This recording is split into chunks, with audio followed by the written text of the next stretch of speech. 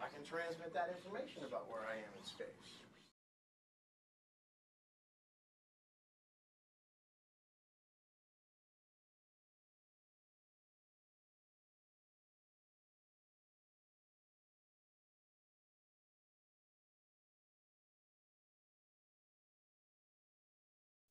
The idea is that we're going to take the capabilities of some of the fittest, highest performing individuals in the world, these infantry guys that you were just talking about, and we're going to extend those capabilities. We're going to make them stronger, we're going to make them last longer, and we're going to make them go faster and farther. We're going to take them that extra mile.